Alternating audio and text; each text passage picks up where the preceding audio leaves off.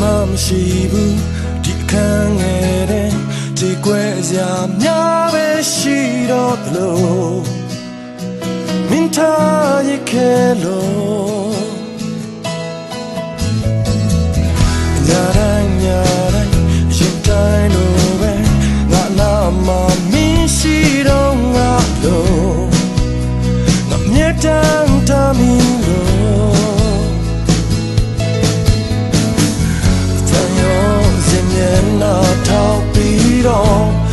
ပြန်ငယ်တော့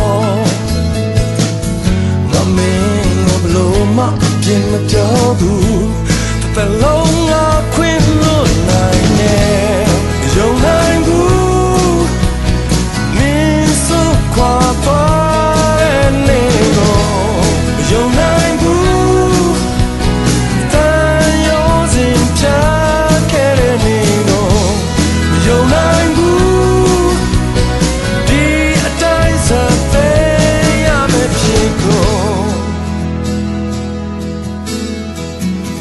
ယောက်ထဲငါသိမင်းချ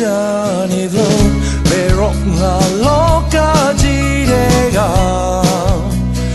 နှုတ်ဆက်ပွားရမယ်